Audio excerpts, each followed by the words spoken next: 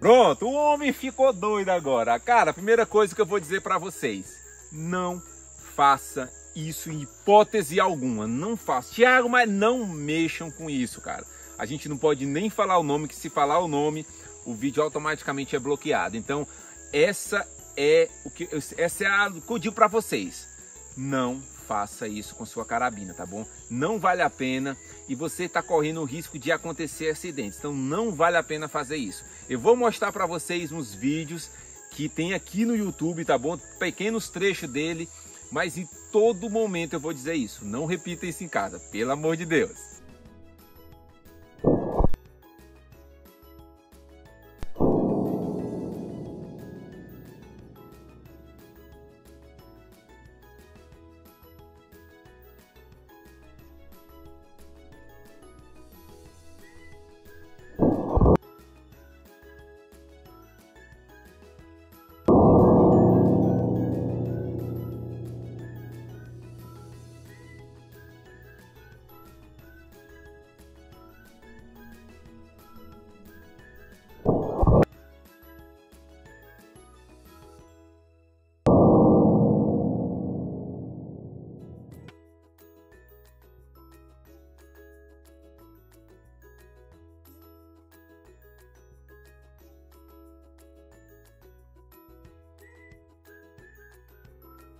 Vamos fazer uma avaliação. Nos vídeos que eu vi, a maioria da galera disse que não fez tanta diferença. Teve um cara que usou, né? Você viu, gente, o link dos canais estão todos aqui embaixo na, na descrição do vídeo, tá bom? Mas eu aconselho vocês a não fazer isso, tá bom? Ele mostrou lá que teve um que teve um pipoquinho, né? Vamos lá, gente. Por que que tu não faz isso, Thiago? Na 9mm, chumbão grandão, né? Chumbão, uma chapuletona desse tamanho. Daria certo botar aqui dentro, tal, tipei. Gente, preste atenção. No momento que tu atira, o chumbinho vai dentro da carabina, né? Tudo bem, aqui a pontinha dele, as chances de bater na raiação vai ser pequena. Mas tenta só imaginar se isso acontecer. Então, se tiver 1% de chance de acontecer, na hora que esse chumbinho for e ele pegar na raiação da carabina e pá, né? Porque assim, vocês vê a quantidade que ia aqui dentro, né? Nem se compara com aqueles outros. Aqui é uma quantidade bem maior, mas eu acredito, gente, que você está correndo perigo de qualquer forma. E lembrando que o pessoal diz, Thiago, coloca atrás, para na hora que tu... Gente, pelo amor de Deus, além de danificar todas as estruturas da entrada, né? Gente, isso aqui é bucha. Isso aqui não foi feito para isso né? Isso aqui foi feito para A. O A vai empurrar o chumbinho. É assim é o mecanismo de uma carabina de pressão. O A empurra o chumbinho. Simples. Tiago, mas a galera fez aí, eu gostei do resultado. Novamente, mais uma vez, é assim, eu estou aqui para dizer para vocês minha experiência e eu como produtor de conteúdo, e graças a Deus vocês consomem muito esse conteúdo, eu digo para vocês, não vale a pena Primeiro, pode danificar a peça das suas, da sua carabina. Né? Segundo, é perigoso, entendeu? É muito perigoso. Terceiro, a, a, a, a, como eu dizer, a reação, o custo-benefício não vai valer a pena, entendeu? Você vai fazer tudo isso para ter uma força maior, um poder de destruição e não. É igual colocar óleo dentro dela, gente, não vale a pena. Você quer ter um poder de destruição nessa carabina bem maior? Eu vou fazer outro vídeo para vocês sobre isso. Como eu literalmente eu consigo deixar minha carabina bem mais forte sem nem mexer nela. Eu não vou nem mexer nela. Você só vai mudar isso aqui, ó, chumbinho.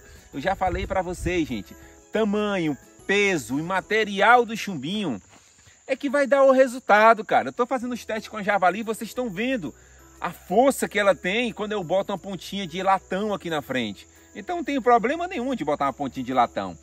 Mas não mexa com esse esse esse material, né? Que esse material é proibido. Esse material, às vezes a gente vê um cara fazendo, a gente, ah, é fácil, mas não é, gente. Corre tudo, tem toda aquela novelinha, né?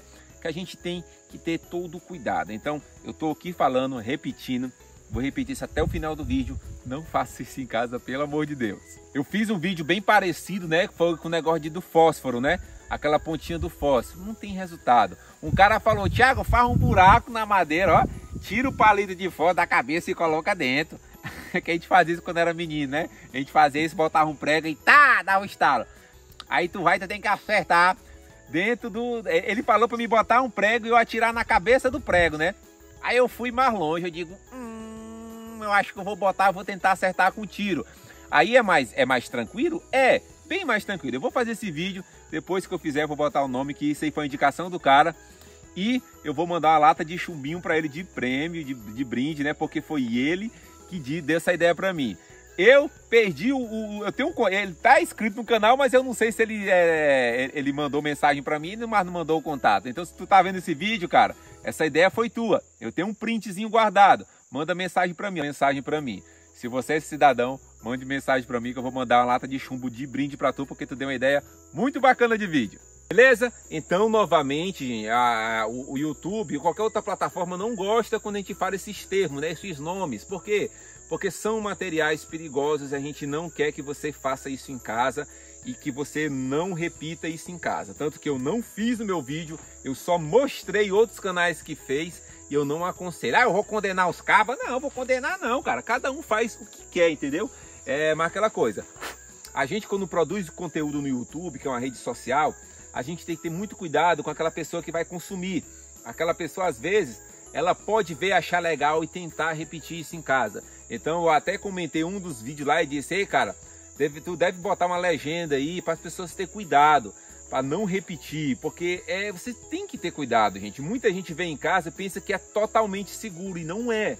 Você, eu tô aqui atirando com minha 9mm é, no sítio, e eu aqui eu digo para vocês, é totalmente seguro. Eu estou usando proteção.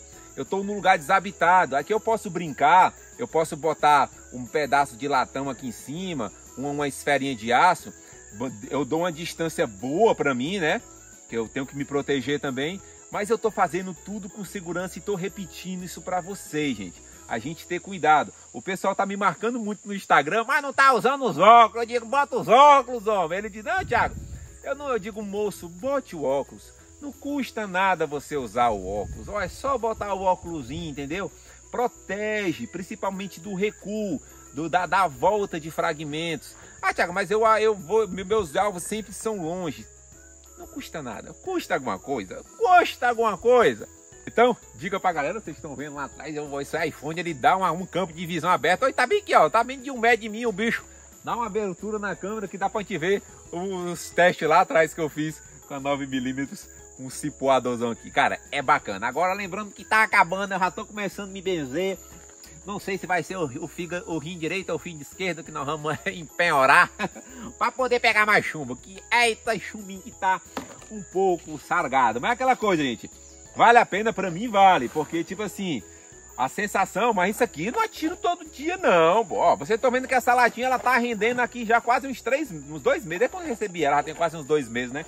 Ela tá rendendo aqui e ela vai render, porque te vem aqui pra cá, dá uns 10 tiros, ou você tira o estresse todo, depois volta pra casa quase chorando, eita, foi 10 chuvinhas a menos, mas vale a pena, cara, beleza?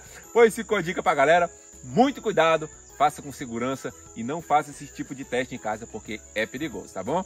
Abração, beijo na bunda, se inscreve no canal, dá aquele like, é nóis!